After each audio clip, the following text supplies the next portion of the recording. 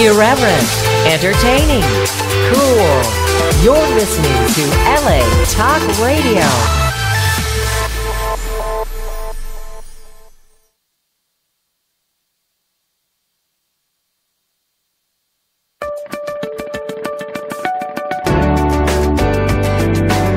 You're listening to The Inner Voice with Dr. Foojan Zeine, only on LA Talk Radio.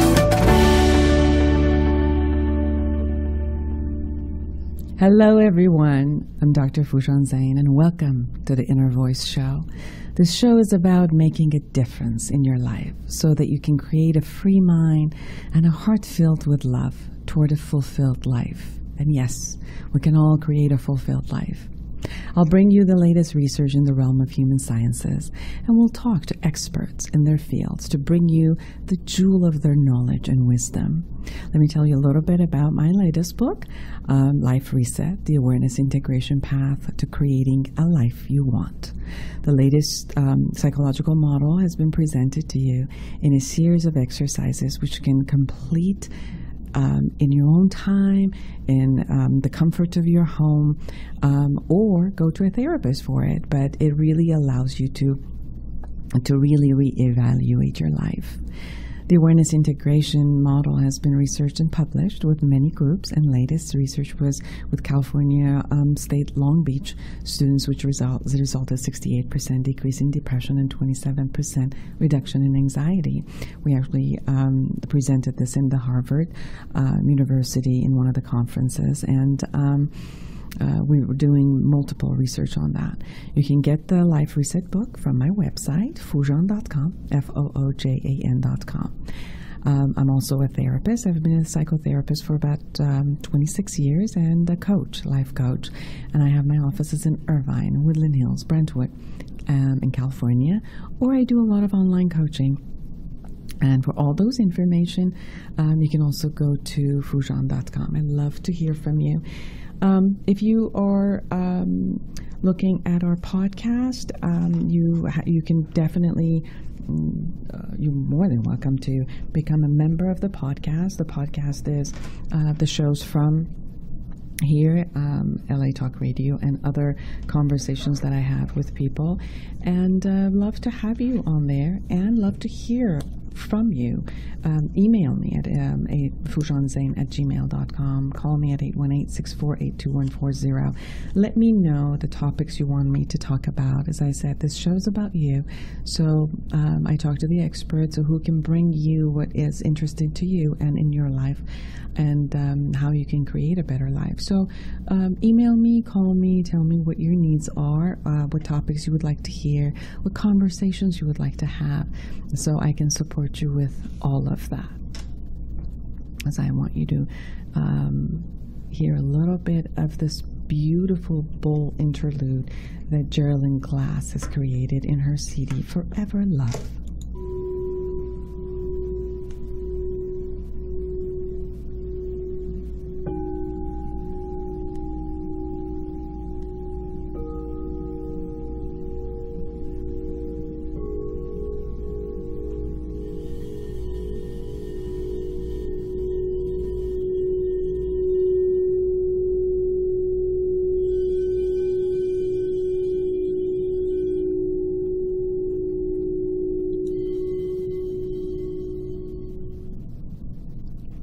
Beautiful? It just puts you in a very calming state.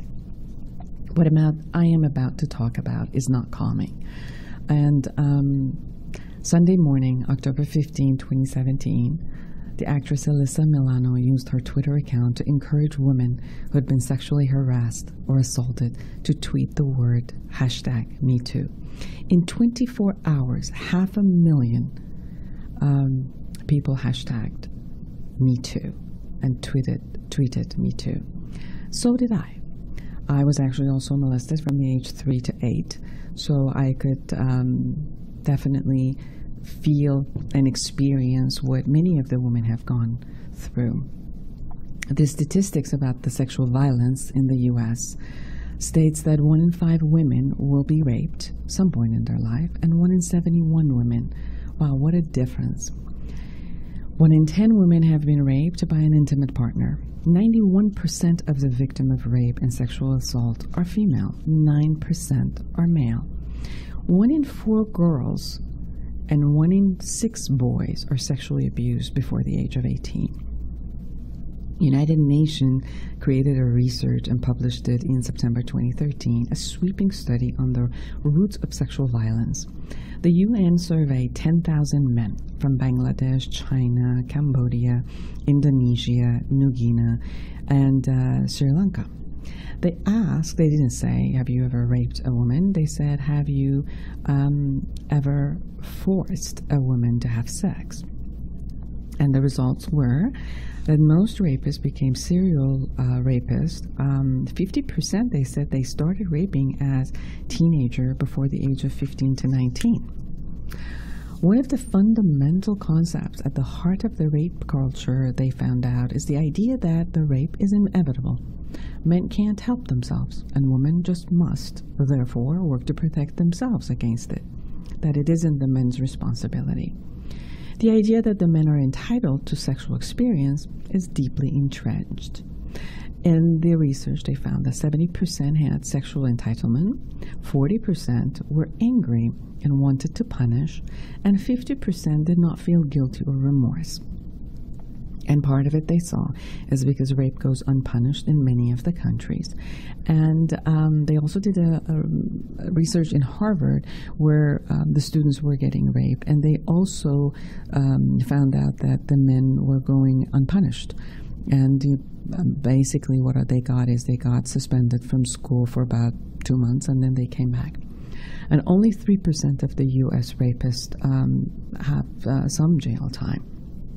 However, the victims are traumatized and um, they suffer from low self esteem, depression, anxiety, eating disorders, addictions, um, alcoholism, addiction to drugs, and unhealthy and often um, not successful intimate relationships in their life. So, from that perspective, um, it seems like uh, finally there's a conversation that we're having open um, in the United States regarding this. I'm so glad to have um, Hossein Martin uh, with me. He's an Iranian film director and a poet. His films have won 39 international awards and have broadcast on networks such as CNN, SBS, Arte, and Canal. He was shortlisted by the prestigious Sundance Institute to take part in 2008 Sundance International Filmmakers Award. He has won um, 39 awards, and some of them, I'll just tell you, Special Award for Promoting Human Rights in Melbourne International Film Festival in Australia, Best International Film Award, Cape Town World Cinema Festival, South Africa, and Best Film Award, Film Platform in Denmark. Mr. Fazeli is now working on a documentary film about Phoolan Devi, the bandit queen, and later a member of the parliament. Hello, Mr. Hossein Martin. How are you? Hello.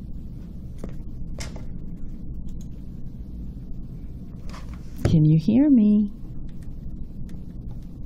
For some reason, I don't have him. Let me put a little bit of a music for all of you, and then I'll go find him.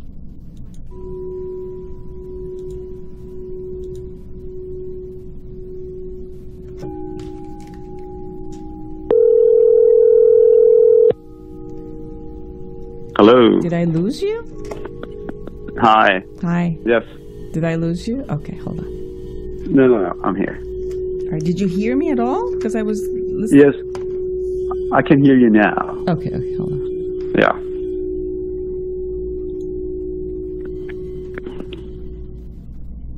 Hello, everyone. We're back to the Inner Voice Show. I'm Dr. Foojan Zeine, and I have Mr. Hossein Martin Fazeli, the film director who, at this time, working on the documentary film Phoolan Devi. Hello, Mr. Fazeli. How are you? Hi, good. How are you doing? I'm doing great. It is such a great honor to have you with us on the show, and especially talking about this wonderful, wonderful movie that you're creating. Thank you very much. I'm happy to be here. So let's talk about um, what got you to be interested in Phoolan. Mm. And Right. for our Well- audience who doesn't really know Phoolan, if you want to let us know a little bit about her. Sure. Um, you know, Phoolan was uh, Phoolan Devi, her full name. Uh, Phoolan is P H um, um, O O L A N, Devi, D E V I. Uh, she was a uh, low caste girl, extremely, extremely poor Indian girl, uh, living in a village uh, in India that doesn't even appear on any map. Even today, if you Google map that village, it doesn't appear on the Google map. So uh, it's very small a village of something like 100, 200 people. Um, the story takes place in the 60s and 70s. So she was a low caste person. She was very poor. You know, in India we have the caste system. Yes. Uh, higher castes, lower castes. She belonged to the lower caste, the lowest of the low, the poorest of the poor. Uh, without any uh, system of support, um, if I want to really summarize the story, at the age of 17, she's kidnapped by a gang of high caste, um, high caste um, bandits, and uh, she's um, dumped in a village, a high caste village, and she's gang raped for 10 days. Now, um, I, you, you, perhaps a lot of uh, your listeners, you know, they may not know India. In India, in rural India, when a girl is raped, usually what happens is that she throws herself into a well, or you know, she lives a life of um, desperation, quiet desperation. Uh, not Phoolan. Phoolan runs away from these, you know, um, rapists. Okay, she goes and uh, forms her own gang, and then she hunts down these attackers. She hunts down these rapists. She goes and kills them. Okay. Now, uh, two things. One is that she's low caste. Those guys are high caste. This was unheard of at the time, right? When a low caste person saw a high caste person, okay, she just bowed down. All right. Uh, but she did, she does not. Not only she runs away, but she goes and hunts them down, and um, and so she becomes a bandit herself. excuse me, but a different type of bandit because she was, um, you know, she had felt poverty and social injustice firsthand. She had a great sense of justice. Um, she becomes some form of a Robin Hood in the area, stealing from the rich, giving to the poor. You know, when she hears that um, a, a girl or a woman is raped, uh, she goes and you know takes revenge on her behalf. You know, she uh, um, dispenses rough justice on people who, um, who have committed those uh, those atrocities. And so she becomes the subject of the largest manhunt in Indian history. Wow. Battalions of you know Indian army and police are after her. They want her captured. They want her killed, and they cannot do that. For eight years, she escapes uh, you know uh, capture. At the end, uh, you know, um, the government, the Indian government, puts uh, some conditions forward. Um, she accepts those conditions. You know, she wouldn't be executed. Um, her family would get land, blah blah blah. A lot of different conditions. She goes to jail. She serves. Uh, she stays in jail for 11 years. In jail, she transforms. She becomes a Buddhist. Mm-hmm. She starts to do yoga and meditation. She renounces violence. She comes out of jail. She enters politics. She runs for parliament. She gets elected. Mm-hmm. This is a, you know, this is almost a kind of a, it's a, is a, is a story with with biblical proportions. I mean, I'm not religious, religious, but you know, it's really it has the biblical proportions, some, some you know, biblical proportions to it. Huge transformations you know, from from being a nobody, you know, to becoming a bandit leader, to become a parliamentarian. Unheard of, yeah. And so she serves, you know, women uh, in parliament, and um, and that's basically her story. Yeah. Something about her story got you in your heart. Um, I can sense what, as I was watching the trailer, because I know you're making the movie and you also have it at Kickstarter, and uh, wanting Right. everyone to support the story and the creation of the story. Um, so, for Right. everyone who's listening, please go to the st- uh, Kickstarter. And uh, do you have the link? Hossein, do you Yes. have the link? Yes. Uh, Yeah. Can you tell us about the link? Oh yes. Uh, sure. Sure. So you know, uh, you know, this has been um, a, a, journey of love. I mean, a friend of mine said it has not been a journey; it has been an odyssey uh, of love. Uh, we have been working on this film for the past four years. Uh, we're near the finish line. We're mm-hmm. 70 mm-hmm. percent complete, uh, but in order to uh, get to the finish line, we still need some money. that's why you know we have started this. we launch, just launched this Kickstarter campaign. Mm-hmm. So if you go to Kickstarter, um, K I C K S-T-A-R-T-E-R. Kickstarter is a platform, crowdfunding platform. If you go on Kickstarter and uh, and type Phoolan, P-H-O-O-L-A-N, our project will show up, and then uh, you can go on uh, you know our page, and then back this project uh, you know with however you know doesn't really matter how much you know we have different different perks. You know, you can you know you can donate five dollars, you can donate $10,000. Really, no amount is too small. And just, you know, be part of the film, you know, help us make this film. Because, you know, this, this is not only a story, another story to be told. This is really inspirational. This is really empowering for a lot of women. And let's not forget that we put Phoolan's story in, in a social context.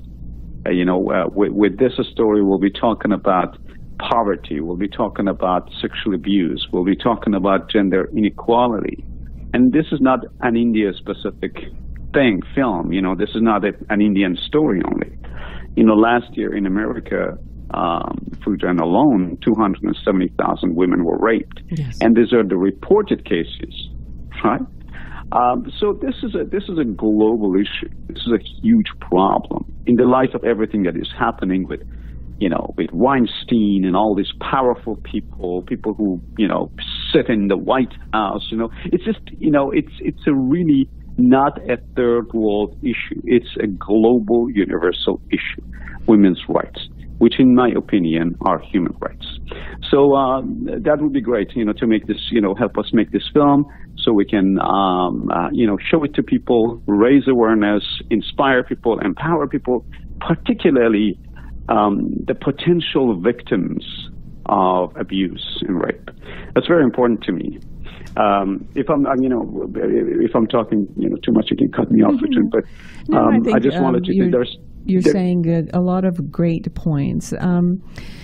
To also uh, elaborate more on the conversation uh, that we're having with about Phoolan, I think that um, there's also a distinction between rape and um, sexual molestation and harassment, and each one of them still holds the concept of control.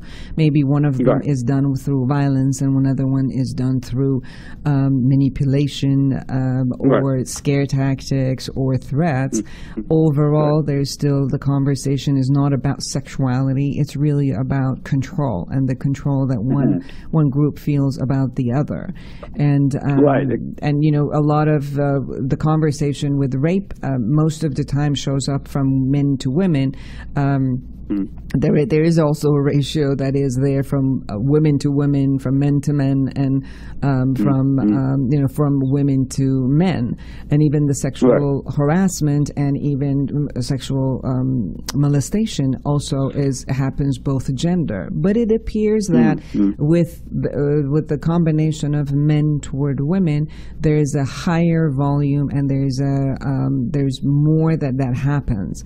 Now, as you yeah. were looking at at uh, your documentary looking at the um, culture of India, and then obviously you live in the United States and you're Iranian, so you have three sets of um, cultures to kind of mm. uh, look around and, and, and experience with. Um, did you see these cultures looking at the concept of um, sexuality, men and women, uh, similar, or was it something different that you experienced between these cultures?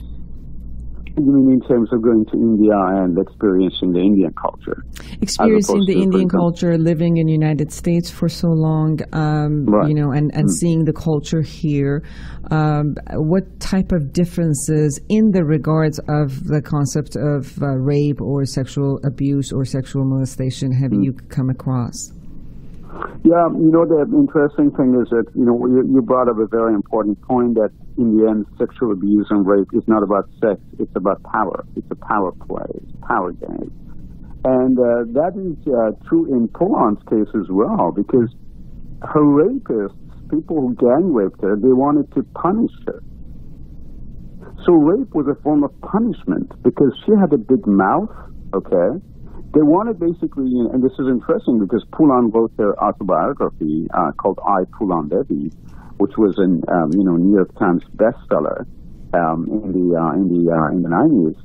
And in that book, she um, explains what happened. And actually, our film is based on her book, based on her autobiography. And she says that because they hated me, they hated my sense of just justice. They hated my big mouth. Mm-hmm. They said, "Okay, we're going to show you who you are. You are nothing." Mm-hmm. And in order to show me that I was nothing, okay, they raped me and they gang raped me. They said, "You got nothing. Everything you have belongs to us, even your own body." So that was a power play, you know. Even in Phoolan's case, I think really this is um, this is a universal phenomenon. Um, I mean, I was reading um, know, a report a few years ago that in 80, 90 percent of cases, rape cases, um, the man, the rapist, doesn't ejaculate, you know, in the course of rape. Uh, so it's not, you know, it's really not about sex. Mm-hmm. So in that sense, you know, there, I, I, I, don't really see a, a difference between uh, the culture of abuse in India and the culture of abuse, for example, in the U.S. or in Canada. Now, when you're thinking, but there are, yeah. when you're thinking about um, uh, India, uh, what we gain from India many times from their cultural um, aspect is um, the concept of peace, the concept of spirituality, right. the concept of yeah. yoga, the concept of um, you know respecting animals, and um, yeah. you know cows walking around and everybody respects them, or you know many of the mm. Indians are vegetarian and they due to the respect that they have to the animals, and sometimes yeah. the the messages that exist and coexist together are so mm. extreme and mind-boggling and I know mm-hmm. that many times I have asked um, my friends who are from India um, that mm-hmm. what come the concept of rape um, in India and gang rape or even just rape, uh, raping hmm. women, is so um, high? How is so prevalent? And the, the, the legal mm. system does not necessarily go after punishing men. And I haven't really right. uh, received an answer that could satisfy me, at least. Um, so I was wondering, in your experience um, of going to India and researching, especially about Phoolan. What was your experience? Um, yeah, you know, this is quite interesting. Uh, India um, is a country of extremes, uh, both good and bad. Um, an Indian friend of mine um, tells me, he says, uh, if there is a God and if there is a devil, both live in India. So, uh, and that, of course, I mean, you know, that's that's um, metaphor, but it really it's uh, um, it's very close to the reality of India. India is a country of gods and demons, you know, living side by side. You have extreme poverty, you have extreme abuse, and at the same time, you have extreme um, tranquility, extreme peace, right? Nirvana.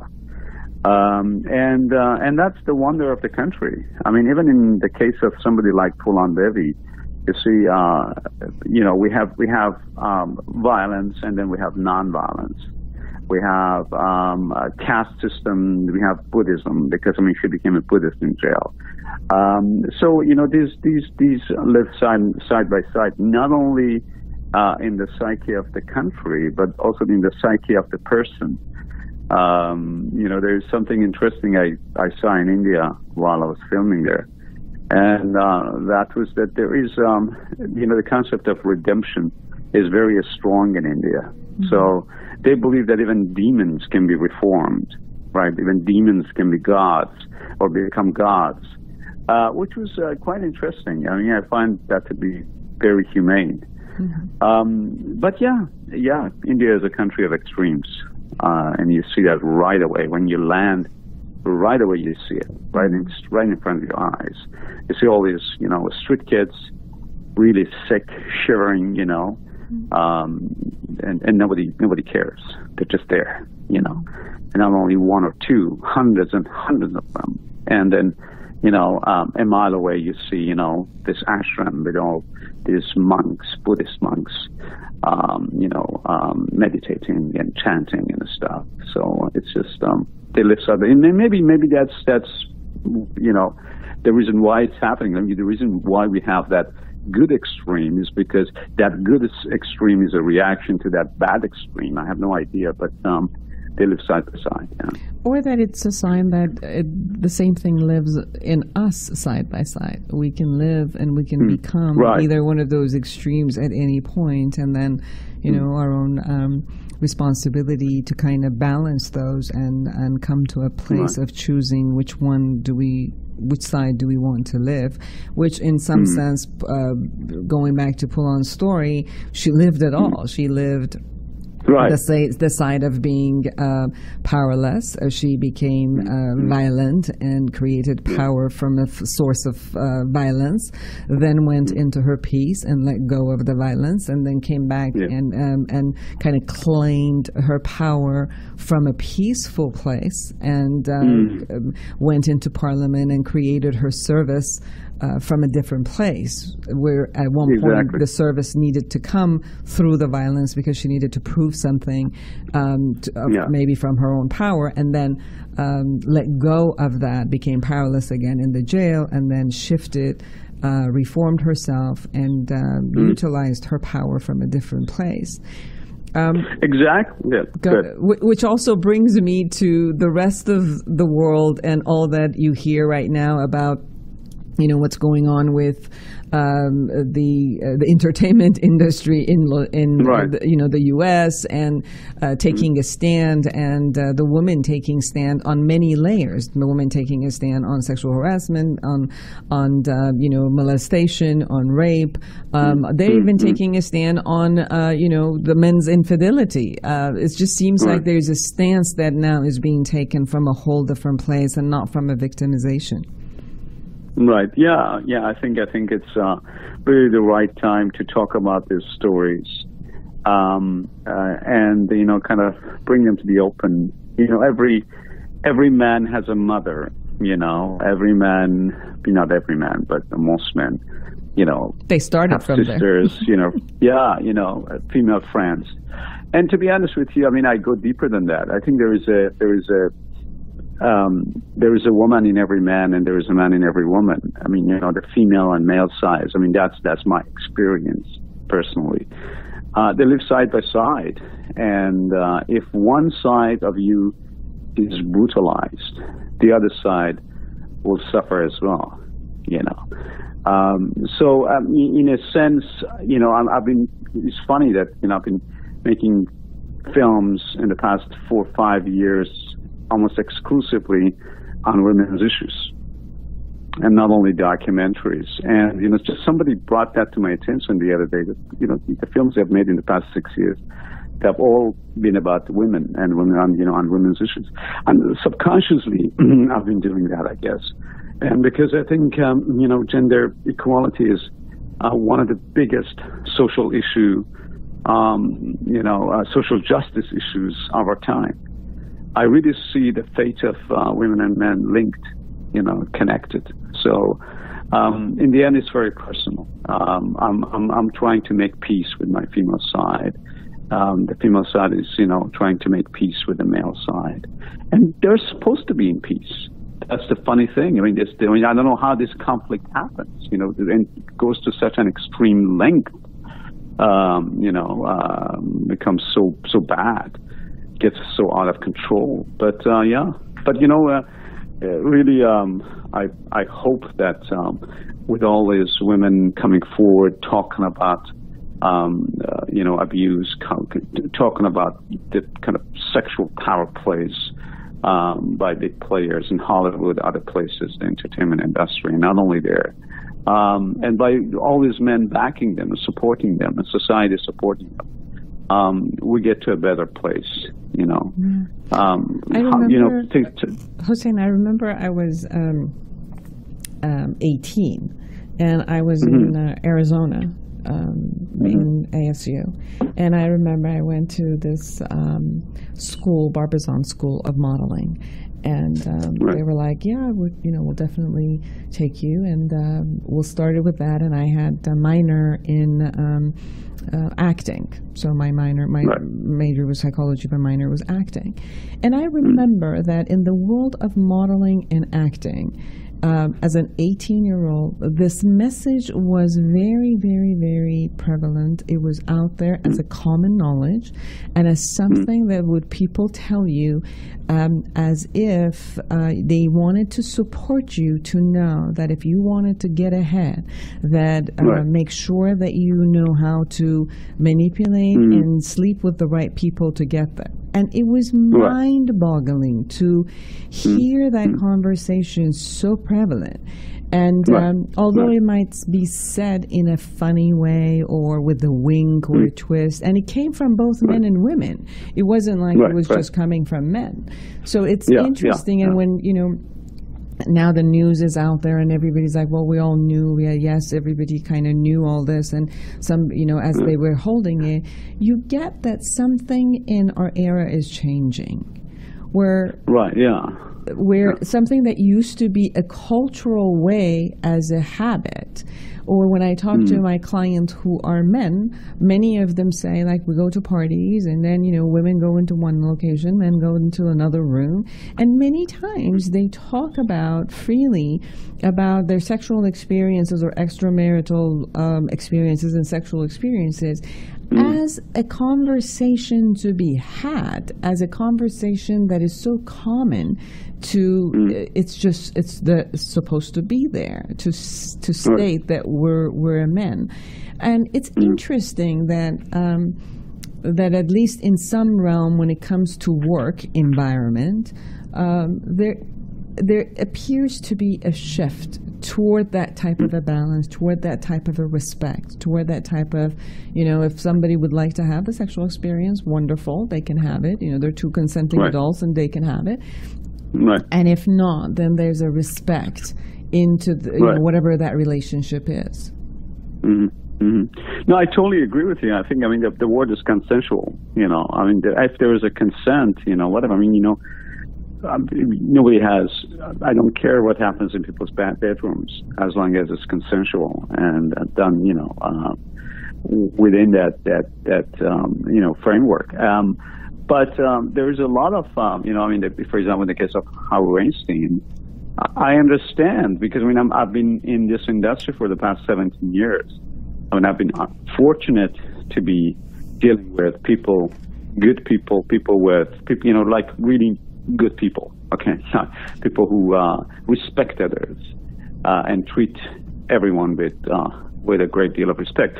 But uh, in, but uh, you know I've been to those you know I've, I've I've seen that I've been to those territories and I know how it is. I think um, it really um, has a lot to do with the structure of the system, because when the system is built on, uh, you know, credit stealing and backstabbing, and uh, you know, um, the question always is, what is it in what what is in it for me, and you know, um, all that you know, extreme me first culture uh, that is there. It's kind of you get to that situation, you get to that place where you know people try to um, assert themselves and try to kind of get a sense of um, get a sense of power, empowerment by abusing others, by using others, you know.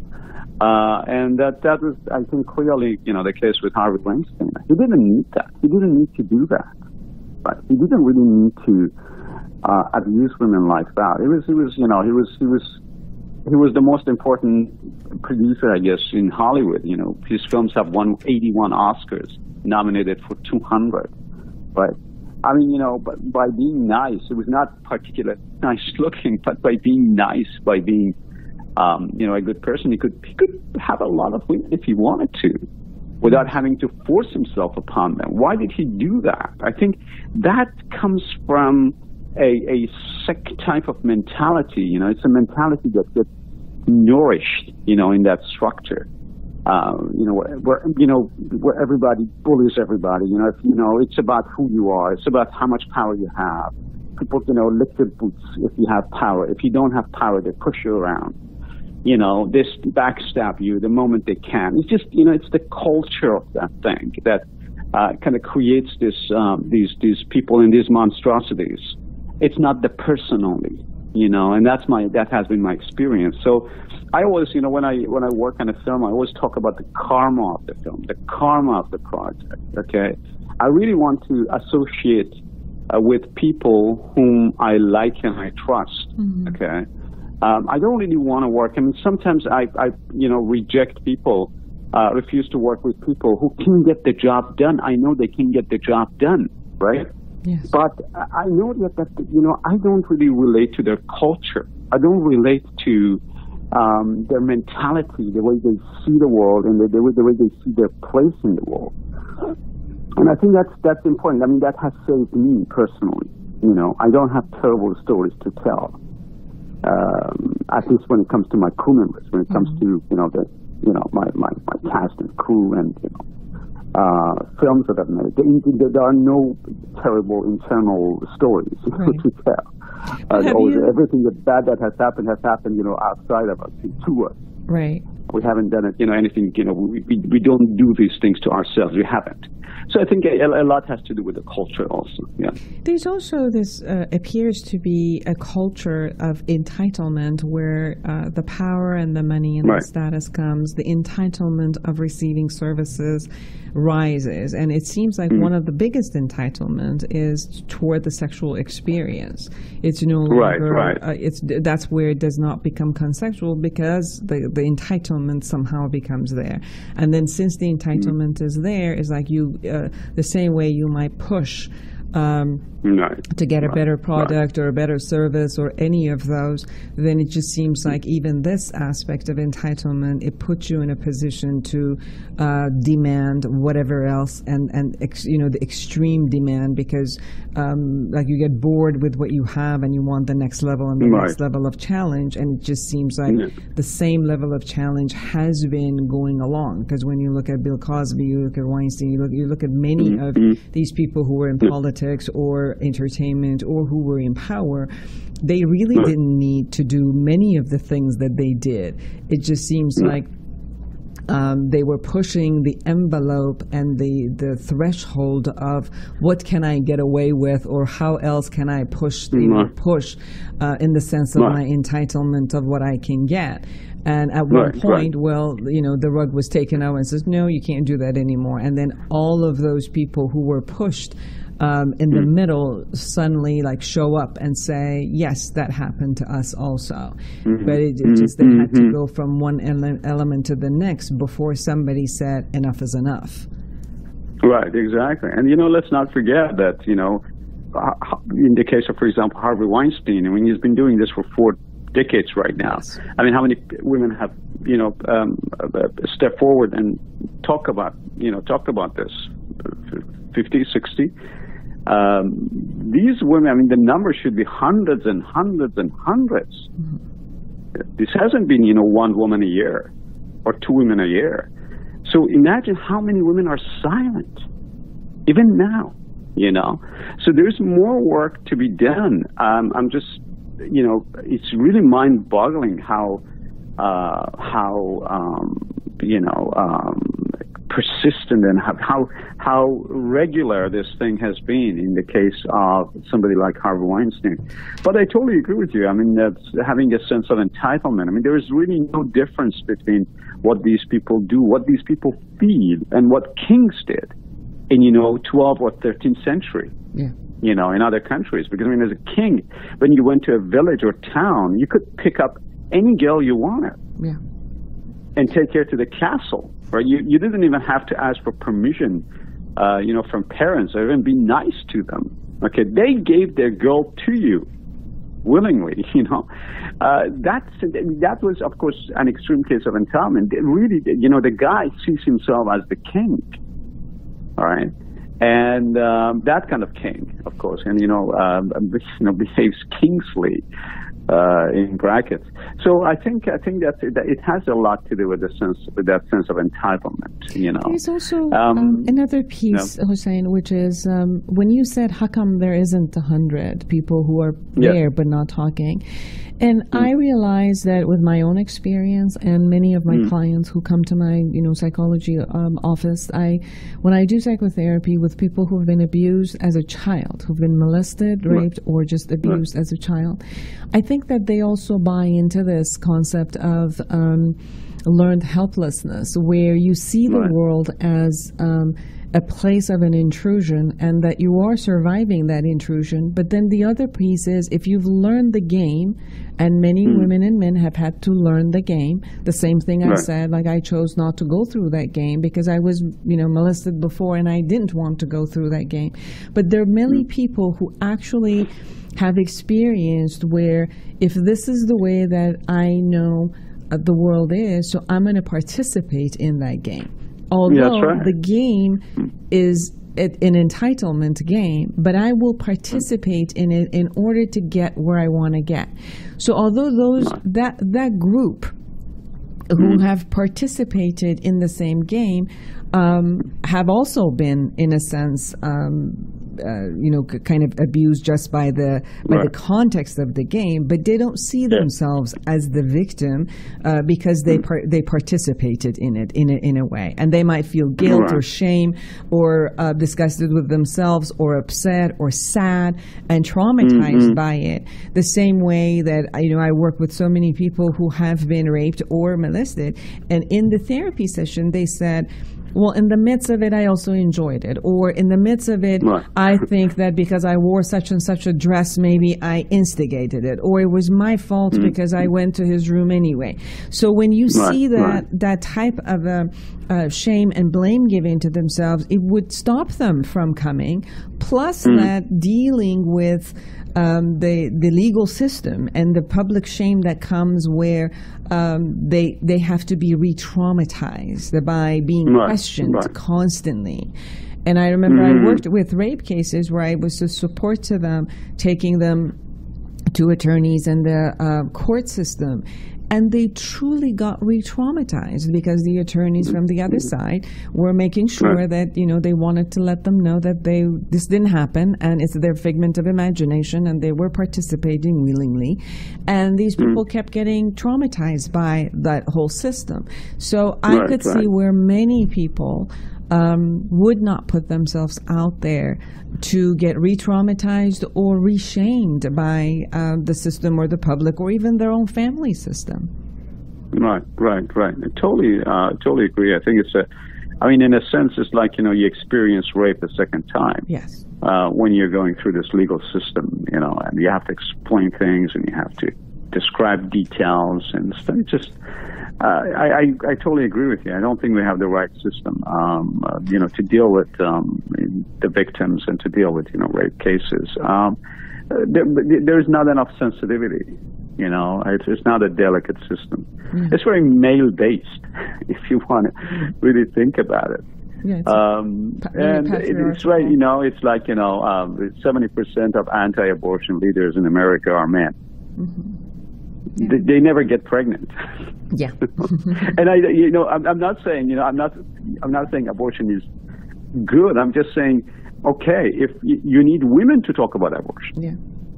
Yeah. You do know, you ex- they are the ones who get pregnant. So do the you, same, you know, with the legal system. Yeah. Do you experience it differently in Canada? I know you live in Canada now. Mm. Do you experience yeah. the the system different? It's not as patriarchal as uh, maybe the U.S. or, or India or Iran. Yeah, that's true. I mean, you know, Canadians tend to be uh, tend to be nice, okay, and that goes a long way. Of course, I mean they have they have uh, huge problems here in Canada as well. But there are a couple of different you know a couple of different factors in, in regard to you know Canada. Um, you know they don't apply to India or America. First of all, the concept of open space, in my opinion, Canada is the second largest country in the world. All right, with a population of 35 million yeah, people. Mm-hmm. You really ha- see a lot of space in this country. Uh, you know, you travel through, um, at least, you know, uh, when I traveled through America, I mean, I didn't really go to middle America that much. Uh, but uh, you know, and of course in India, you see a lot of people. You see, pop, there's the you know the, the kind of demography, the, the, the population, the sheer number of people is overwhelming. You know how many. Um, but in Canada, you know, you have all these barren lands, untouched territories. Okay, you can walk for miles in the woods without seeing, seeing any other human being. I think that you know that that vital space that kind of relaxes you more. This is my experience, right? Mean, people you become nicer being in this environment. Mm-hmm. Uh, but also, I think it's the culture of the country. Um, I think. Uh, um, they they put a lot of emphasis on on tolerance mm-hmm. And on respect for the other. Okay, and and the legal system is actually quite. Um, it has zero tolerance towards things like, uh, you know, um, violence against women or you know uh, sexual abuse and stuff. Mm-hmm. And uh, and um, you know you don't have you know the culture of I mean, you know, that kind of, I call it, I mean, a lot of, you, you have a lot of lawyers in the U.S., and I understand that it's, you know, it's necessary, but it's really a country of laws, um, the United States. Um, and so, um, you know, and sometimes, you know, those laws are badly written and sometimes they're randomly enforced, you know, and you have problems with that. Yeah. Canada is not a country of laws. It's more like a country of uh, kind of unwritten principles. You know, that's my experience at least. Mm-hmm. Um, you just you just know that there are there is a pattern of behavior. There is a certain code of conduct which is acceptable and honorable, and you should do that. And you should follow that. Yes. But of course, I mean, this is this is you know this is on the surface. Right. If you really go deep down, you know, you go to poor areas, you go to, for example, uh, you know, native communities uh, Inuit communities, you see a lot of abuse and you see a lot of social ills as well. So it's just the surface. You know. yeah. Yeah, we're looking at a lot of um, human dynamic, where how a, a, person uses their power where they can, or if they yeah. have the opportunity to utilize their power, what type of, um, from what principles do they choose to live that? And I see it that um, something in the uh, story of Phoolan brought you into really uh, bringing her onto the screen, onto the hmm. heart of people, to really talk about um, what uh, the um, violent power and uh, disrespect that comes with power can mm. uh, can create and what you know what the results are and then when it shifts where the power right. joins principle and then joins love and giving and service, what can right. happen and how can one person go from one extreme to the other to uh, receive that? So um, that's beautiful and i know that this the you know we really want uh, everyone who's listening to support for this film to uh, complete to be out. So everyone who's listening please go uh, to kickstarter.com and then put in Phoolan, P H O O L A N, P H O O L A N, and uh, support as much as you love to, you can, you choose, um, in order for this. Um, for this wonderful uh, documentary about uh, Phoolan Devi to uh, shed a light to what is possible for um, anyone who can go from one end to the other extreme and uh, create such a courage and their essence of who they are to flourish and then to be able to flourish um, and support others. So you got, we have two minutes. So tell me sure. all that you want the listeners to know about you, Phoolan, and how to get uh, this wonderful documentary out in the world. Sure. Uh, thanks, Foojan. You know, basic, the film is, of course, a feature-length documentary. It's 90 minutes with dramatic recreations. So it's going to be, um, um, you know, an exciting film. Um, I've come back from India with 56 hours of great material. Um, you know, we have been, we have, I've talked to a, a lot of everybody in India, you know, her Phoolan's parents, her sisters, her brother, you know, her ex-gang members, people that you know, uh, she shot at, you know, um, her, you know, parliament secretary, her colleagues in parliament, you know, women's rights activists, everybody. Uh, and so uh, we've been to India actually four times so far. Um, it's been a long journey, and I think uh, you know we have exciting material to work with. Our edit process has started. As I said, this is um, you know the last mile. And if we walk this mile, then uh, you know the film is going to be in the can. We're thinking of April 2018.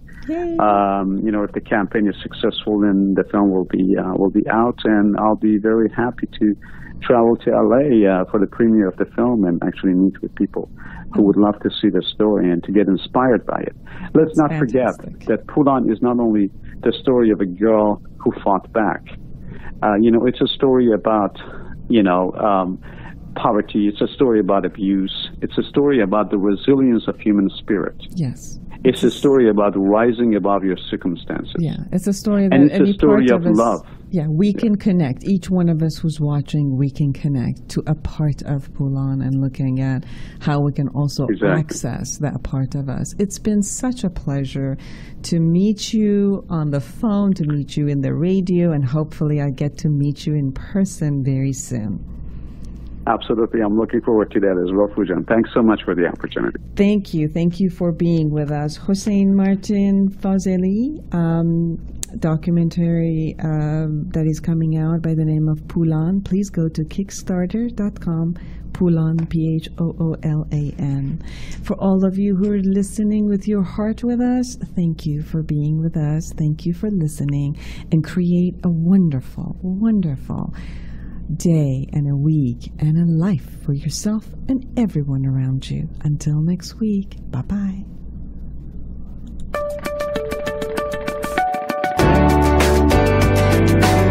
You're listening to The Inner Voice with Dr. Foojan Zeine, only on LA Talk Radio.